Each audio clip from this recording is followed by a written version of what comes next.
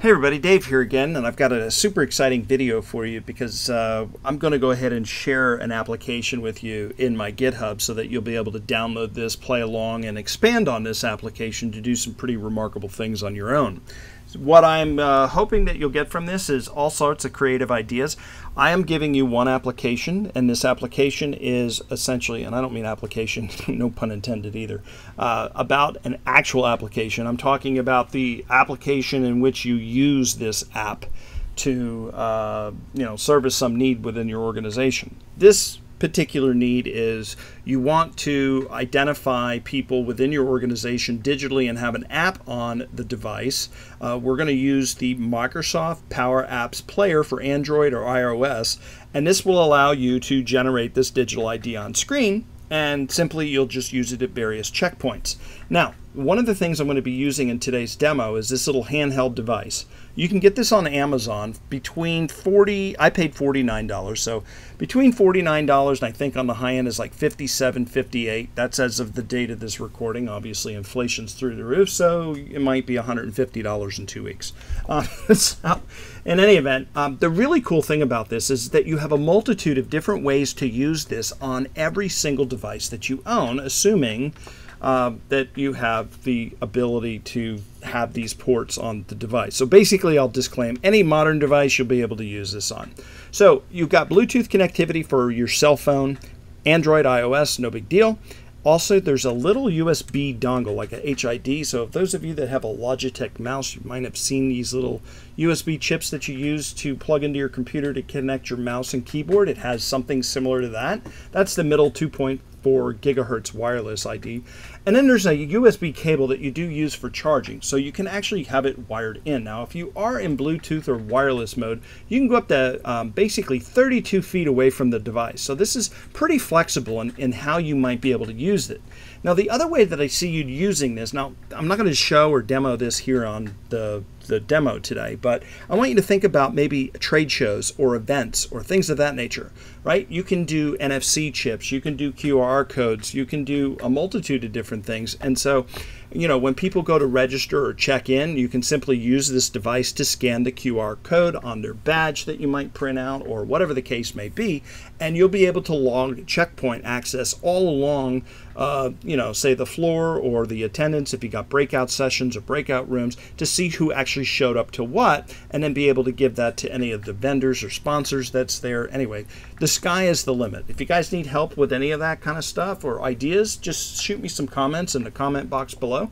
I'll be more than happy to try to help you figure some things out with regards to that or uh, maybe an application on how you could use this further.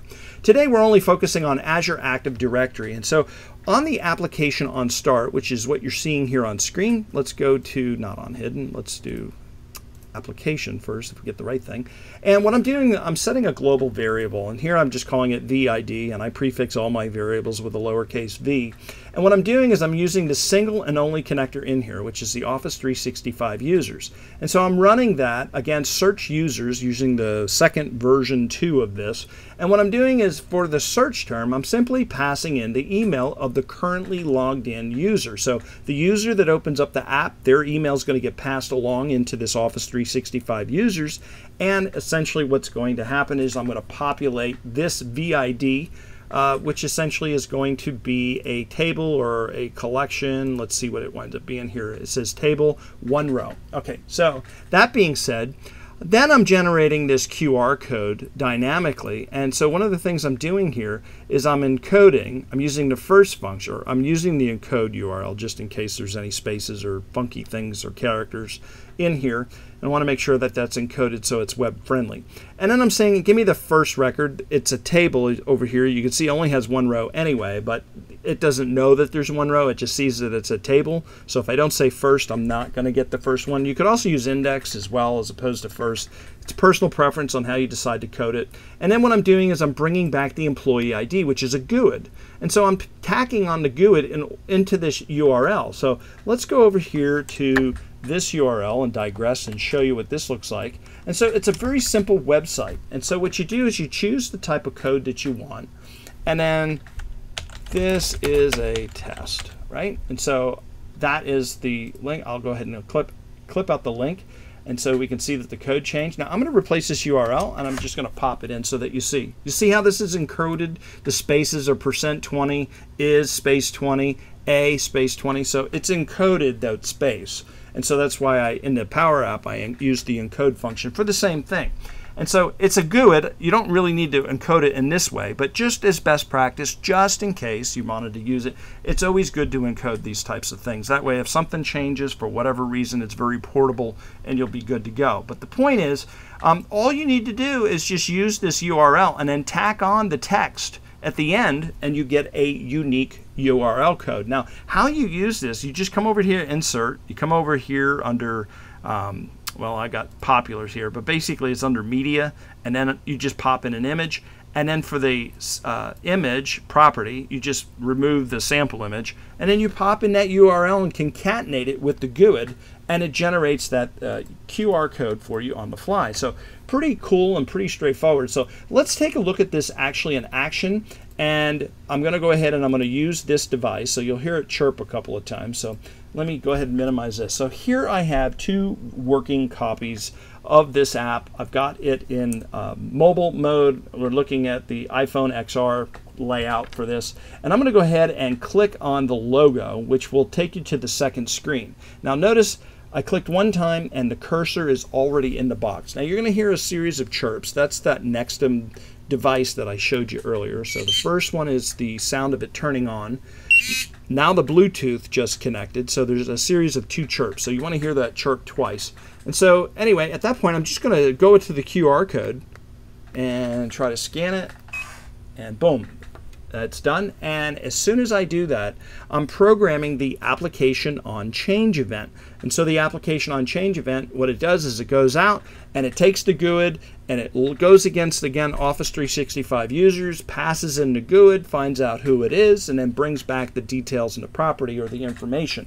Now, what is interesting, I'm going to go ahead and click this uh, little refresh button, and I'm going to, I have a, a a drink here, and I'm going to scan the, the ID on the back of the drink. And I'm going to show you what happens when you scan an, an illegal or a non-identified employee.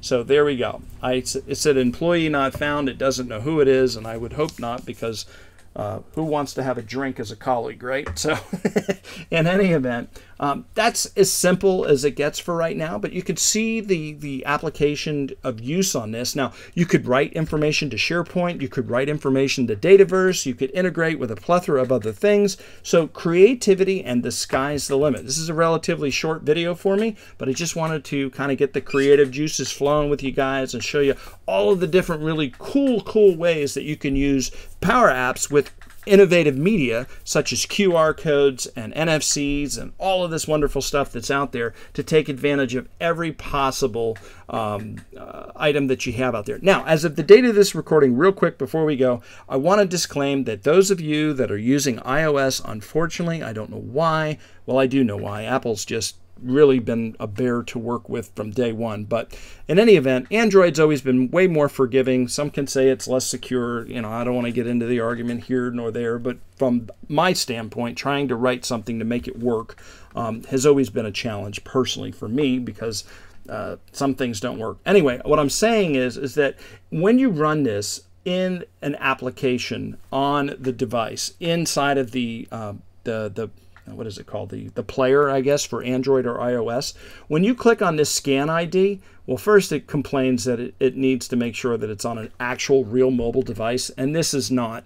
For some reason this was broken as of my testing on my wife's iPhone. It works perfectly fine on all my Androids but I guess maybe it's her version of iOS. So if you are using iOS and you click the scan ID and you get a black window unfortunately it's it's a bug with the either the iOS or the app, the Microsoft app on iOS. Go ahead and raise a support ticket. I'm sure they already are know and are aware of it, but in any event, just wanted to let you know that for those of you that use iPhones, you may have some issues as of the date of this recording. Hopefully they fix it quick, but otherwise, other than that, that's it. Again, we'll see you in the next video. Have a good one. Thanks.